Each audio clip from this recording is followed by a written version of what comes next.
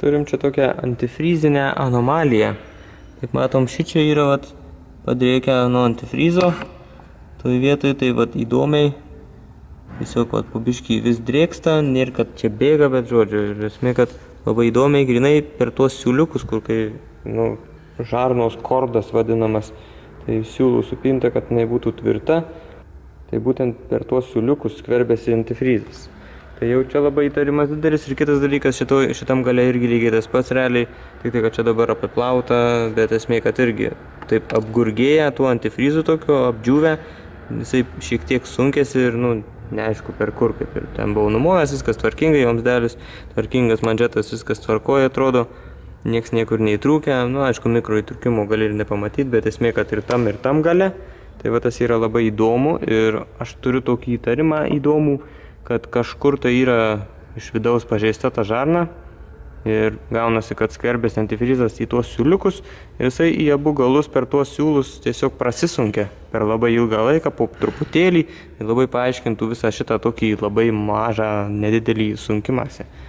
Dar galvoju, kad parodysiu žodžiu, koks man labai patinka laidų sujungimo būdas paskutiniu metu ir šiaip, nu žodžiu, toksai, kur belitavimo, fainas, viską, tai naudojant tokius spaustukus plikus. Čia realiai gaunasi kaip originaliai jungtis, kaip originaliai būna sujungta mašinose. Tai tam čia reikalinga, kad gražiai užspausti tokios replikės specialios. Čia biškai tuos visokus tik tai reikia taip paskatinti į tinkamą padėtį. Tada čia turim laidukus. Čia aš dar turiu tokias replikės. Fainas nužievinimo irgi labai fainai nusižievina kiek reikia pasirenki laido storį žodžiu ir tiesiog tai vat smagiai nužievina. Tada pasiimam, įsimetam į atitinkamą šitą, supranti, diametrą. Čia irgi realiai pagal laidą, tai jeigu, jeigu taip, tai žodžiu taip. Prisitvirtinam. Tada gaunasi, kad vienas tas galas tai laiko šarvą patį laido, o kitas galas užspaudžia patį laidą ir gaunasi kontaktas. Tai tik tai, kad mes šį čia kišam, šiek tiek įkišam laido šarvuko. Čia per šitą galą dar galim pamatyti, kaip išlenda tas laidukas. Ir tiesiog spaudžiam tada su replėm iki pat galo. Atleidžiam ir turim kuo puikiausią, gražiausią, tiesiog tobulą jungtį. Tada įsimetam į kitą. Pasiimam kitą laiduką, įkišam vėlgi čiukšt, suspaudžiam, atleidžiam ir viskas. Man žiauriai patinka šitas sujungimo būdas, nieko jokių pompalų neiš, neišsprogę, neišburbę, neišburkę, ten nieko, tiesiog idealu, kaip originaliai. Ir plus dar ant viršų uždedi termokemriką, kurį uždėjęs ten, nu, būtent dar tą kemriką naudoju su klyjais viduj, tai jį taip užmeti žodžiu, pašildai, jisai susitraukia, klyje išsilydo ir užsisandarina sandaru būna kaip uoga. Tai galima laik, laukia laisvai šitas jungtis daryti, ta prasme mašinai. Čia aišku būna jų visokių dydžių, visokių, ta prasme, visokiam laidam, jeigu labai storos. Tai ši čia irgi šituose replise įsideda irgi būna pasikeičia šitos vagalvutės.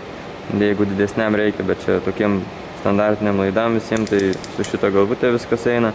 Ir pagrindė naudoju arba šitą antrą pagal dydį arba didžiausią. Didžiausia tai čia tokiem biškis storesniem laidam. Nu, aišku, čia yra skaičiais galima sakyti, bet aš neatsimenu pagal tuos skaičius. Ai, nors čia gal surašyta. Nu, tai va, pusantro ir vieno kvadrato ten, žodžiu, tie laidai. Tai va, papigiai šitie reikaliukai, aišku, yra, replikės biški brangiau, aišku. Čia galima Lietuvoje, aš ten iš kiniečių siunčiausi, tai jos pigiau, aišku, buvo kiniečiuose biški. Realiai tai elektrikas mūsų, kai ateina, tai žvengia, sako, tu daugiau turi įrankių tokių visokių negu aš. Tai jo, aš tai čia aišku, ne tai, kad man čia labai reikia, bet tiesiog, vat, norėjau kažkaip surasti kažkokį tvarkingą būdą sujungimo tų laidų delitavimo, tai vat, tokį vat ir suradau. Nes yra, pavyzdžiui, vat, laidų jungčių ir tokių visokių. Yra dar pavyzdžiui, tokia, kur sukiši laidus, pakaitini ir įsilydo čia lydmetalis, susilituoja ir užsisandarina. Tai tos, nu, labai gražiai skamba, bet kad įsilydo tas lydmetalis normaliai, tai ten irgi būna visokių variantų. Nu, man taip ne šimtų procentų aš kažkaip pasitikiu tuo reikalu. Nors gal ir bereikau, nežinau, taip normaliai nebandęs, bet kažkaip susilaikau. Tai žodžiu yra tokių, vat, kurie, kuriuos reikia užspaudi, tada pašildai ir čia susitraukia šitas, nu, irgi čia kemrikas toksai termo yra kartu integruotas, jisai užsispaudžia, užsisandarina, irgi puikiai viskas yra, išskyrus tai, kad čia kai užspaudinėjai šitą, tai tas termokemrikas pasižeidžia biški ir yra tikimybė, kad jis nebus toksai, nu, visiškai sandarita jungtis. Aišku, kai šildai, tai jis ten, žodžiu, su fenu ar su kuo ten, su žieptuvėliu. Tai ten, kur persispaudžia keurai, jisai dažniausiai tie klyjei, nes čia irgi su klyjais. Tie klyjei dažniausiai ištrykšta, taip ir susandarina viskas puikiai. Nu, tai kaip ir viskas gerai, bet, nu, toks, žodžiu, aš jų tikrai naudojau ne kartą, man visai šitai patinka. Bet yra, va, tokie, va, tokio pat principo, tik tais nepermatomi, va, tokie vagalai. Tai reiškia, jeigu būtų taip, nu, tu prasme, toks nepermatomas galas, abiejų galų toks, jisai nieks nepersimato. Ir kai šičia, pavyzdžiui, gali suspaust, šito negali suspaust, tai šitą pašildžius jisai irgi susitraukia, bet jisai vos vos susitraukia ir jame nėra klyjų. Tai iš esmės jokios naudos nėra. Ir dar jisai ne, neamortizuoja, tai kai medis, žodžiu, ten, nu, jokio nėra amortizavimo, lankstymosi, nieko, tai, žodžiu, šitie yra gaidys. Čia va kaip pavyzdys, irgi čia šitas brangesnis, o čia tas va gaidys. Tai tokių pačių būna ir šitų žodžių. O čia dar taip pat pagal spalvas yra ir storiai laidų, pasirenki kokio tau reikia storio. O šiti man labiau patinka dėl to, kad jį kai uždedi, jisai dar mažiau vietos užima, nereikia ten perspaust ir tu gali uždėti termokemriką, gali nedėti termokemriko, na aišku, visada uždedi realiai. Bet vis tiek tu jį uždedi atskirai ir tada tikrai žinai, kad sandaru, viskas fainai ten nu, aišku, su klyjais jisai turi būti tas termokemrikas. Žodžiu, tokia patirtis mano, iš mano experienco su tais laidų jungimais visokiais. Aišku, galima ir lituot laidus, ten tada lygiai taip pat tą termokemriką su klyjais uždedu atskirai. Bet šitaip realiai yra greičiau, paprasčiau ir, nu nežinau, man šitas praktiškai už litavimą labiau patinka. O jeigu ten kažkur laukia, ten dedam, tai dar aš po užspaudimo dar ml to dinitrolio biškį čia užmetu, tai taip sakant jisai įsigeria į tą jungtį visur viską ir jeigu čia ir patektų kažkada drėgmė kažkokia, tai ml neleistų korozijai vykti. Bet vis tiek uždedi tą termokemriką, bet kokiu atveju su klyjais tai viskas susisandarinė būna ir ar taip ar taip nepatenka ta drėgmė, bet nu, toks vat apsisaugojimas. Čia irgi va grinai palyginimas yra to gaidiško ir gero principe taip pat jie veikia, užspausti reikia tuos abu galus, kad laidas susispaustų, tik tai, kad šitą pašildžius jisai susitraukia normaliai ir klyjei viduje yra, užsisandarina, o ši čia nėra klyjų ir jisai beveik nesusitraukia ir dar jisai medinis. Tai žodžiu, gaidys. Aš šitus, kai naudodavau, tai ta prasme, aš šitą šarvą iš viso nuimdavau, atskirai tą metalą ten viduje esantį, kurį yra panaudodavau, užspausdavau laidus ir tada kemeriką atskirai užmeti ir užsisandarina tada normaliai. Nes su šitu tai čia, to prasme, komedija yra čia šis, aš nežinau, kam jie skirti šitą nesąmonį, kam čia šis tas šarbas. Nu, žodžiu, šitą tai bent jau dirba savo darbą. Turime čia Ford Sierra su berots 2 litrų varikliu, Dohas. Tai reiškia, kad du vėlenėliai, bet kas labiausiai nustebinau, tai kad jie įdėjo du vėlenėlius, bet vis tiek variklis yra 8 voštų. Tai toks feilas laisvos eigos vožtuvas, eina šlangonas iki kolektoriaus, temperatūrinis daviklis ir MAP sensorius originaliai nėra oro srautų matuoklis, vietoj to MAP sensorius stovi, tai žymiai patikimesnis reikalas. Taip pat kuros lygio reguliatorius ir kiek žiūriu, tai kad čia centre greičiausiai pradūrus tą plyvelę ten galima pareguliuoti slėgį dar. Žodžiu, turim problemėlių, kad čia leidžiate paliuką per visur iš eilės visas vietas tai tiesiog misija yra užsandarint viską. Nusiėmėm skrėjiką, čia tą visą žodžių reikalą degimo skirstimų ir radom čia, kad yra riebaukšliukas, panašu, kad ten ir leidžia. Tai nusiardėm žodžiu iki grandinių viską, velenėliai ir kompensatoriai, tai plemba riebus kaip reikalas, net nežinau su kuo palyginti. Žodžiu, iš vieno velenėlio šito galima padaryti šio laikinius kokius tris turbūt. Apačio irgi nusėmėm grandinės dangtelį, čia jisai plastikinis ir šitas viršutinis dangtelis irgi plastikinis ir jie piški problema yra, nes įtrūkę yra ir esmė, kad jų neina gaut, tai Žodžiu, kas belieka, lipdysim iš to, ką turim. Tepsim hermetiko, nes čia visur tie įtrūkimai ir be hermetiko tikrai leis, o su hermetiku gal neleis. Iš esmės tai priėmėm sprendimą su klientu, kad bandom daryti kažką tai iš to, ką turim. Na ir renkamės, kad gal ten tą ribokšlį irgi naują įstumėm, bet tas dangtelis, kai trūkęs, tai irgi ten reikėjo hermetiko šiek tiek įspraust, kad tikėkime jis neleistų ir bus matyti, kaip čia laikys.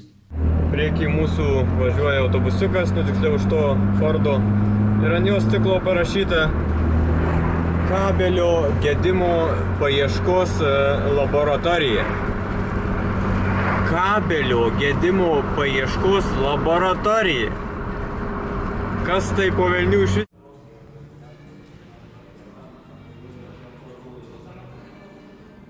Vėl gavom dovanų iš Ridex. Tai čia bagažiniai samartikai, puntukui ir starlečiui. Žiūrim, kaip starlė to puntuko atsidaro bagažiniai, kol kas nekyla pati. Ir jinai pradeda kilti iš čia, labai lietai kyla. Vieną mes amortiką buvom pakeitę, kitas senas, tai čia tiesiog, kad jinai laikytųsi, aš keičiau belę. Bet dabar turėsim abu ir jinai turėtų žymiai greičiau pakilti. Aišku, užnisa kartais laukti arba tem ten į viršų, jinai priešinasi. Sarlečiaus originalus amortikai tau jaučia. Ir jie pradeda kelt nuo čia, tada biški kilstena, tada pristoja, tada dakelia kartais greičiau, kartais lėčiau. Tragedijos nėra, bet irgi biški užknisa laukti. Tai sudėsim naujus ir pažiūrėsim, koks skirtumėlis. Sakyčiau, esu maloniai nustebintas vienu dalyku, viduje yra tepaliuko iš tuose amortikuose, tuose žodžio oboliukuose. Abu vietoj. Žiūrim, koks skirtumas, nu, čia ir uždaryti netaip lengva žiūrim. Keliam, keliam. O taip. Šitas, kur keičiau, buvo naujas ir dabar dar kaip naujas. Jeigu kam reikia puntuko bagažinės amortiko, galite kreiptis, padovanosiu tikrai. Anas tai čia nieko gero, tai net nesiūlau. Na, dabar starličiaus eilė. Na, starličiui panašu, kad biškai nepavyko jam padaryti. Kažką neapskaičiau. Nes kaip matom, biškai kreivas šitas kronšteinas. Čia turi būti liesiau toj vietoj biški. Na tai netaip lengva padaryti martiką bagažinės. Tai perdėjom nuo seno martiko ant naujo šitą reikaliuką, šitą kronšteiniuką, jisai šiek tiek yra kitaip. Esmė, kad viskas čia gavosi normaliai, tik tai, kad, nu, neplanavau ir nieks čia neplanuoja nusipirkęs martiką dar jį perdarinėti. Nu, bet žodžiu, pranešim, kad čia yra grybas įveltas, tai tikėkime, jie pasitaisys. Na, žiūrim, kaip dabar atsidaro.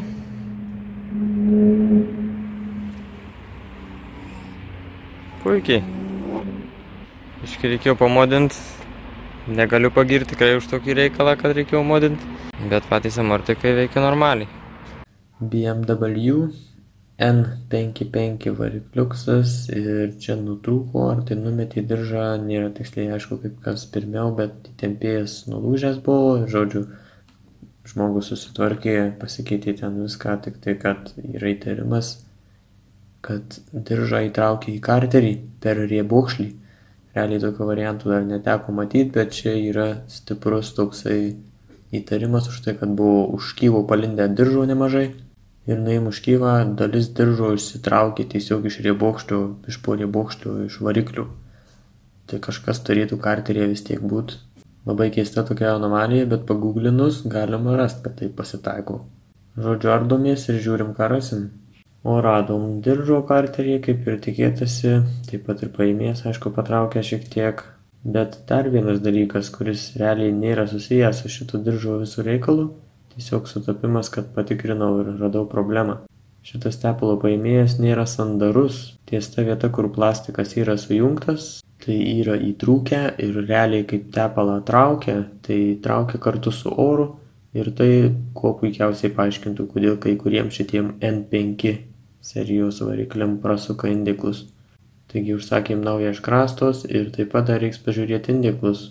Taigi turim paėmėję naują. Toks pat plastikinis, visi kodai tokie patys, reiškia joks neupdatintas modelis. Prasme nėra kažkoks tai ten, kad jie būtų radę, kad čia yra brokas kažkur tai gamyklinis.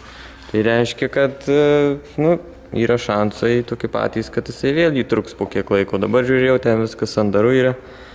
O kai bus toliau, tai vėl nežinau, ten kai šyla šalą, gali suvaikščiot. Tai jau čia toliau nusėmėm tepalus ir pliuką, žiūrim indiklus. Čia visai čia smagiai nusėjama, atsisuka čia ta plokštelė dviem varščiukais, atsisuka žvaigždutį tepalo sirblių, atsisuka sirblys su trim varštais, aliuminiai, čia tų varštų aliuminių prikrauta daug, karteris visas ir taip toliau.